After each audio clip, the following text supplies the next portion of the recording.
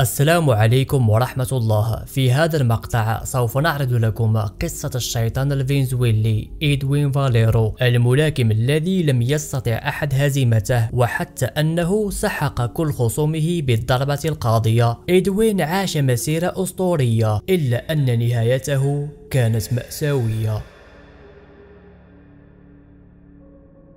في الثالث ديسمبر من عام 1981 ولد الإنكا في ولاية ميريدا بفنزويلا وعندما أكمل عامه السابع تخلى عنه والده ليضطر هو الآخر أن يتخلى عن دراسته ويتعايش مع التشرد وذلك من خلال بيعه للخضار والفواكه أمام الحافلات ومن شارع لشارع وبالضبط وعندما أكمل عامه الثاني عشر وجد لنفسه عمل في صيانة الدراجات وككرم من صاحب المحل المحل أعطى لفاليرو مكان للمبيت. ليصادف أن ذلك المكان هي قاعة رياضية وأن صاحب المحل ملاكم سابق. وكأي إنسان عادي قرر فاليرو أن يتدرب على الملاكمة بعد أن ينتهي من الدوام. ومع مرور الوقت اكتشف المدرب بأن إدوين فاليرو يمتلك تركيز وموهبة كبيرة في الملاكمة. وهنا قرر المدرب أن يقحمه في البطولات الوطنية. وبالفعل أظهر إدوين قدراته المتميزة متميزة وحقق ثلاث بطولات وطنية. وكما أتقن إدوين الملاكمة تعلم أيضا ركوب الدراجات إلا أنه كان يستعملها في السطو وسرقة ممتلكات الغير. وبينما كان يستعد لأول نزال احترافي له تعرض لحادث خطير. الإصابة كانت على مستوى الرأس لدرجة أن الأطباء وضعوا صفائح حديدية على الرأس ليرمموا الجمجمة. وعندما استفاق فاليرو نصحوه الأطباء بشدة بأن يتوقف عن الملاكمة إلا أنه لم يكترث لهم وكأنه دفن الشخصية القديمة واستفاق بشخصية جديدة وصفها البعض من أقربائه بجنون العظمة. وفي التاسع يوليو من سنة 2002 خاض فاليرو أول نزال احترافي له أمام خصمه هرنانديز ومن أول جولة أذاق خصمه طعم لكماته الفتاكة. لينتهي النزال بالقاضية منذ البداية. واستمر إدوين بطرد كل من يقف أمامه من أول جولة لتبدأ خيوط الشهرة بالانتشار وتلقى ترحيب كبير من شركة جولدن بوي الترويجية ولتجربة قوة الإنكا. قرر المدير التنفيذي أوسكار دي لاهويا الذي كان بطل سابق أن يجربه في نزال حبي وقال مؤخرا يا ليتني لم أفعل.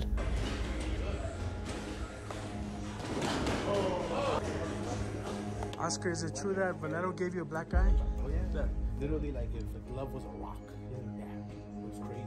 ولم يكن ديلاهوي الوحيد الذي تذوق طعم لكمات الإنكا بل حتى أبطال من فئته الوزنية وأقروا بخطورة لكماته He's the guy that I felt that hit the hardest of anybody, harder than Pacquiao, harder than any other guys that I spar with. Valero hit hard.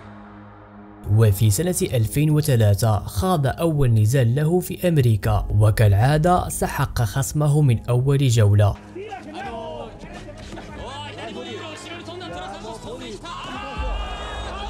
وبعدها المروجون جلبوا له صفقة خيالية من أجل أن يبرز أكثر وذلك من خلال ظهوره الأول على شبكة HBO العالمية. ولكن وبعد أيام قليلة تلقى فاليرو صدمة العمر حيث أثبت الكشف الطبي بأن لفاليرو تشوه في الجمجمة وهذا ما جعلهم يقررون إيقافه عن خوض النزالات.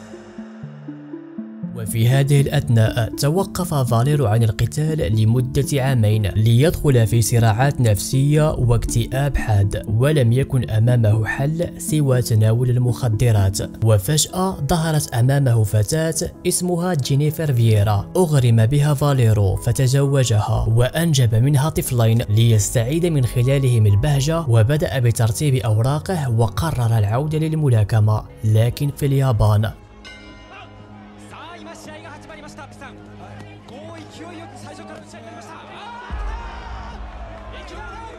ومن أول جولة أرسل خصمه هيرو بوندو للنوم بخطاف يميني مدمر على الدقن.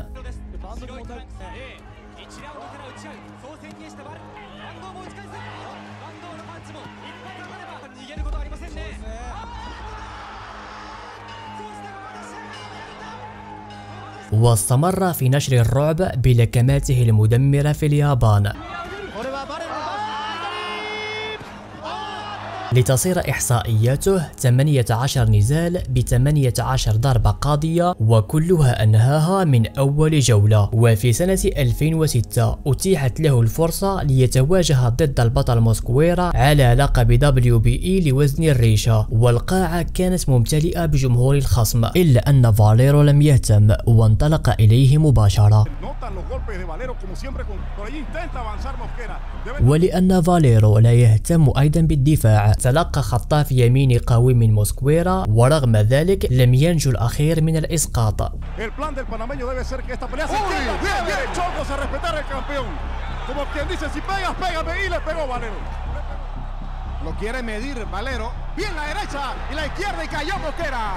استمر النزال ليظهر موسكويرا قوة البطل.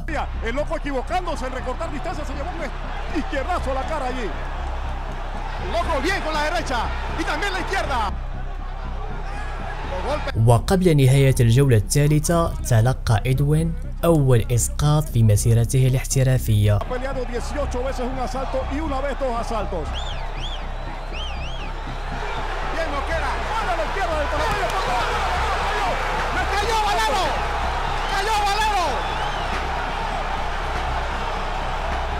نهض فاليرو وحاول موسكويرا أن يضغط عليه لينهي النزال لكن الإنكا كان له رأي آخر.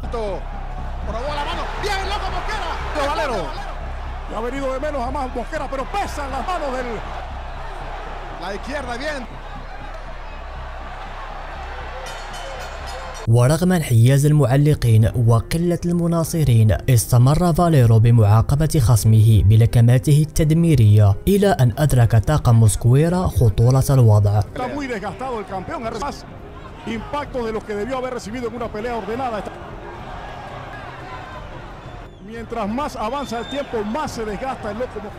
El loco Mosquera más débil luce y más se reducen sus posibilidades de un knockout, que es lo que necesita. Muy aguado el loco. Se iba a meter la esquina, se iba a meter la esquina, Mosquera se metieron, pararon la pelea, se acabó, nuevo campeón. وبسبب الضرر الذي ألحقه بخصمه أطلق عليه لقب الدايناميت وتوج فاليرو بلقب WBA في معقل خصمه. وعند عودته لفنزويلا تلقى ترحيب خيالي وتم تكريمه بأعلى وسام في الدولة. وصار فاليرو بطل قومي. وعندما اكتسب الدايناميت المال والسلطة رجع لعاداته القديمة كشرب الخمر وتناول الكوكايين. وهذا ما جعله غالبا يفقد السيطرة وينفجر من الغضب وغالبا ما كانت زوجته تدفع الثمن لدرجة أنها حاولت الانتحار. وفي سنة 2007 عاد الدايناميت ليدافع على لقبه WBA ضد خصمه ميشيل لوزادا. ومن أول جولة وجه الدايناميت يساري مستقيمي بسرعة البرق جعلت خصمه يترنح ولا يستطيع الوقوف.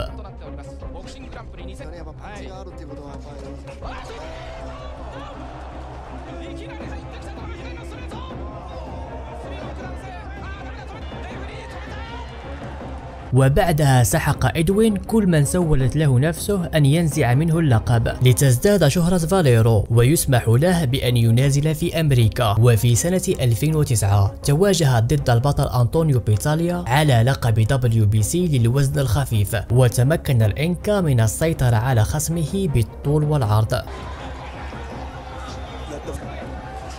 He does so. Out up in the air. He's still, you know, He likes to follow it with the right. Say it, Pitalua. But radar, he got that. He got hit with a big right hand. He got hit with the right hand. That's right. Sure did. وفي بداية الجولة الثانية قرر الديناميت أن ينهي البطل.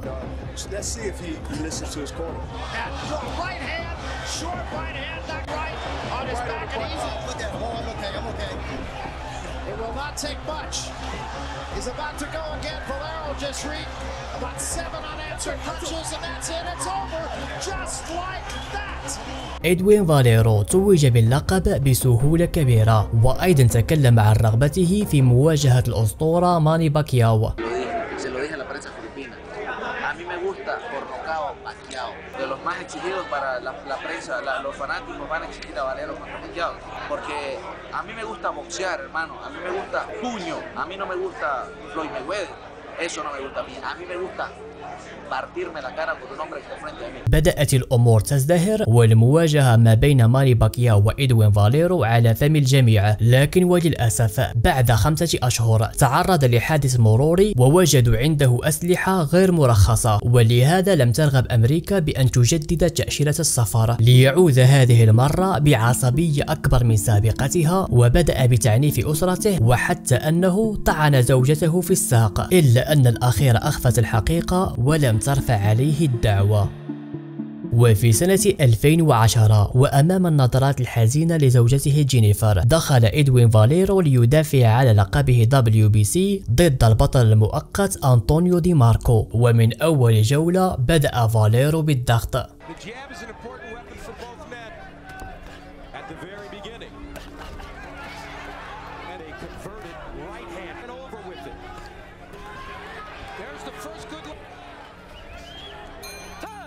وفي الجولة الثانية تعرض فاليرو لهجمة غير قانونية بالمرفق.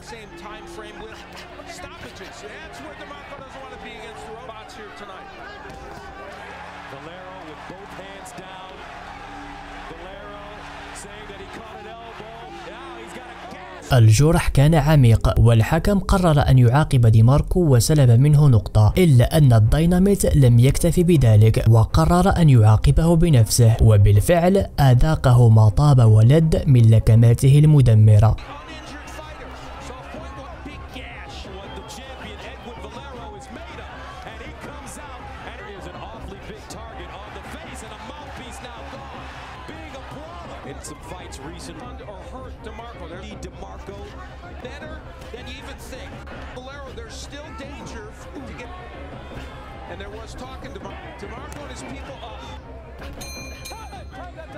وفي الجولة التاسعة ولأن أنطونيو لا يرغب بأن يصاب بعاهة مستديمة قرر أن ينسحب من النزال.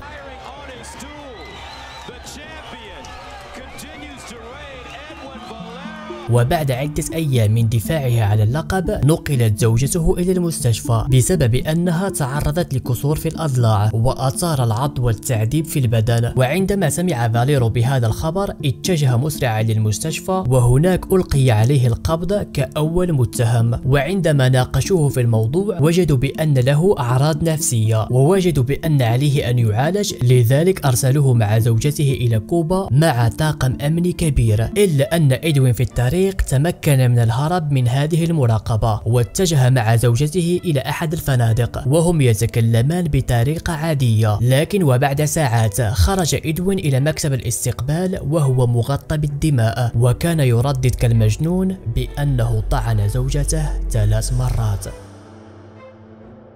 وعندما أتت الشرطة وجدوا بأن زوجته قد فارقت الحياة واعتقلوا إدوين وأخذوه إلى مركز التحقيق وفي اليوم التالي وجدوه قد أنهى حياته شرقا باستعمال ملابسه Carolina, tu esposo queda campeón y van a su casa con un campeón. Emocionada, de verdad que sí. Sufriste mucho, me imagino, ¿no?